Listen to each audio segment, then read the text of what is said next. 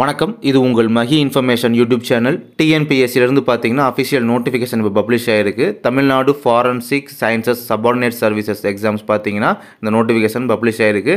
டோட்டலாக பார்த்தீங்கன்னா ஒரு தேர்ட்டி ஒன் வேகன்சி இருக்குது ஸ்கேல் பே பார்த்தீங்கன்னா starting பேயே thirty six thousand thirty seven thousand அரௌண்டாக வரும். அண்ட் தேர்ட்டி ஒன் வேகன்சி எப்படி ஸ்பிட்டப் பண்ணி கொடுத்துருக்காங்க நீங்களே பாருங்கள் so chemistry biology physics physics and கெமிஸ்ட்ரிக்கு so number of vacancy வந்து எவ்வளோ ஸ்பிட்டப் பண்ணி கொடுத்துருக்காங்க? தேர்ட்டி ஒன் வேகன்சியில் அப்படின்றத நீங்கள் பார்க்குறீங்க அதே மாதிரி டோட்டல் வேகன்சியுமே இந்த கேட்டகரி வைஸ் கம்யூனிட்டி வைஸ் வந்து எப்படி ஸ்பிட்டப் பண்ணி கொடுத்துருக்காங்க? ஜிடின் ஜென்ரல் டெனில் ஒரு அஞ்சு வேகன்சி பிசியில் ஒரு அஞ்சாறு வேகன்சி அப்புறம் இந்த கேஸ்ட்டில் ஒரு ரெண்டு மூணு வேகன்சி இந்த மாதிரி அப்படியே கேஸ்ட் வைஸ் பார்த்தீங்கன்னா அப்படி ஸ்ப்ளிட் பண்ணி கொடுத்துருக்காங்க. அதையும் நீங்கள் பார்க்குறீங்க. நோட்டிஃபிகேஷன் பப்ளிஷ் ஆன இந்த டேட்ல இருந்து ஒன் மந்த் டைம் பீரியட் அப்படின்றது இருக்குது நீங்கள் அப்ளிகேஷன் அப்ளை பண்ணுறதுக்கு ஃபீஸ் எல்லாம் பே பண்ணுறதுக்கு அதனால மே டுவெண்ட்டி சிக்ஸ் வரை டைம் இருக்குது ஒன் மந்த்து அதுக்கப்புறம் பார்த்தீங்கன்னா நீங்கள் அப்ளிகேஷனில் கரெக்ஷன் பண்ண வேண்டியது இருக்குது அப்படின்னா ஜூன் ரெண்டாம் தேதியிலேருந்து ஜூன் நாலாம் தேதி வரை. ஸோ ஒரு த்ரீ டேஸுக்கு பார்த்தீங்கன்னா டைம் தராங்க. அப்போ நீங்கள் அப்ளிகேஷனில் கரெக்ஷன் இருந்தால் கரெக்ஷன் பண்ணிக்கலாம். எக்ஸாம் வந்து ஜூலை இருபத்தி மூணாம் தேதி கண்டக்ட் பண்ணுறாங்க and paper one paper two. So morning ஒரு எக்ஸாம் ஆஃப்டர்நூன் ஒரு எக்ஸாம் நடக்கும். அதில் பார்த்தீங்கன்னா பேப்பர் ஒன்று வந்து பிஜி டிகிரி ஸ்டாண்டர்டில் இருக்கும். சப்ஜெக்ட் பேப்பர் ஓகேவா ஸோ அதுக்கான சிலபஸ் நம்ம கீழே அப்புறம் வரும்போது பார்க்கலாம். பேப்பர் டூ பார்த்தீங்கன்னா Tamil eligibility test SSLC standard தான்.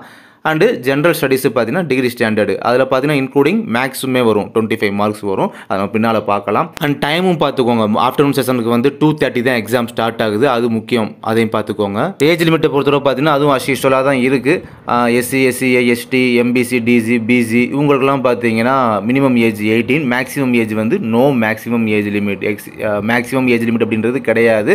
அதே இது அதர்ஸ்க்கு மட்டும் பார்த்தீங்கன்னா மினிமம் ஏஜ் வந்து அதே எயிட்டீன் கொடுத்துட்டு மேக்ஸிமம் ஏஜ் லிமிட் பார்த்தீங்கன்னா தேர்ட்டி டூ அப்படின்றது கொடுத்துருக்காங்க அஸ் யூஷுவலாக கொடுக்குறத. எஜுகேஷன் குவாலிஃபிகேஷன் பார்க்குறீங்க. எம்எஸ்சி ஃபாரன்சிக் சயின்ஸ் அந்த டிபார்ட்மெண்ட்டில் பார்த்தீங்கன்னா என்னென்ன சப்ஜெக்ட் எடுத்து படிச்சிருக்கணும்? Biology chemistry physics physics and chemistry அதிலே பார்த்தீங்கன்னா சப்டிவிஷனாக உள்ள சப்ஜெக்ட்டுமே கொடுத்துருக்காங்க. இதெல்லாம் படிச்சிருந்தா உங்களுக்கு வந்து இதில் ஏதாவது சப்டிவிஷனை பொறுத்தளவு இதில் ஏதாவது யூனிட் எடுத்து படிச்சிருந்தா ஸோ நீங்கள் அதுக்கும் எலிஜிபிள் தான். ரெஜிஸ்ட்ரேஷன் ஃபீஸ் பார்த்தீங்கன்னா one fifty rupees examination fees வந்து ஒன் ஃபிஃப்டி ருபீஸ் டோட்டலாக பார்த்தீங்கன்னா த்ரீ ஹண்ட்ரட் ருபீஸ் நீங்கள் பே பண்ணுவீங்க. அப்புறம் இந்த எக்ஸாம் ஃபீஸ் பே பண்ணுறதுல வந்து இந்த எக்ஸம்ஷன் கன்செஷன் கேட்பாங்க பார்த்தீங்கன்னா அது வந்து அஸ்யூஷுவலாக அந்த எஸ்சி எஸ்டி இவங்களாம் பார்த்தீங்கன்னா ஃபுல் எக்ஸம்ஷன் ஃபீஸ் பே பண்ண தேவை கிடையாது. பட் மற்ற பிசி எம்பிசி இவங்களாம் பார்த்தீங்கன்னா ஃபஸ்ட்டு த்ரீ டைம் மட்டும் ஃப்ரீ சான்ஸ் கொடுப்பாங்க. அதை யூஸ் பண்ணாதவங்க யூஸ் பண்ணிக்கோங்க. யூஸ் பண்ணியிருந்தவங்க நீங்கள் எக்ஸாம் ஃபீஸ் பே பண்ணி எழுதுங்க.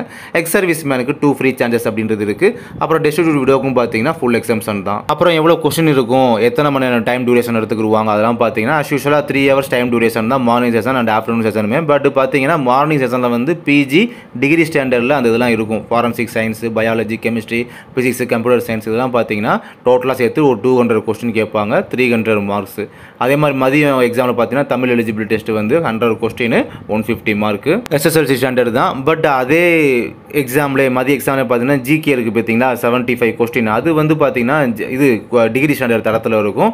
அப்புறம் ஆப்டிடியூட் பார்த்தீங்கன்னா அது எஸ்எஸ்எல்சி ஸ்டாண்டர்டில் தான் இருக்கும். Seventy five plus twenty five அதுவும் பார்த்தீங்கன்னா ஹண்ட்ரட் கொஸ்டின் அப்படின்றது இருக்கும்.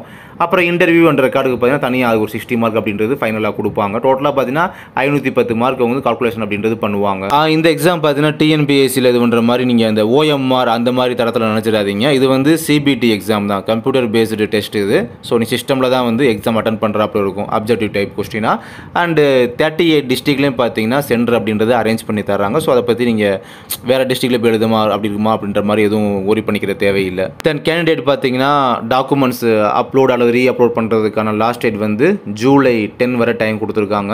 அப்புறம் இந்த எக்ஸாம் எழுதி முடிச்சதுக்கப்புறம் ரிசல்ட் எப்போ வரும்னா அக்டோபர் இந்த மா இந்த வருஷம் அக்டோபரில் ரிசல்ட் வந்துடும் சர்டிஃபிகேட் வெரிஃபிகேஷன் இந்த ஓரல் டெஸ்ட் அதெல்லாம் பார்த்தீங்கன்னா நவம்பரில் இருக்கும். கவுன்சிலிங் பார்த்தீங்கன்னா நவம்பரில் இருக்கும். இந்த வருஷம் இறுதி டிசம்பர்லேயே பார்த்தீங்கன்னா நீங்கள் ஜாப் வாங்கிக்கலாம். அந்த மாதிரி தான் கொடுத்துருக்காங்க. தேங்க்யூ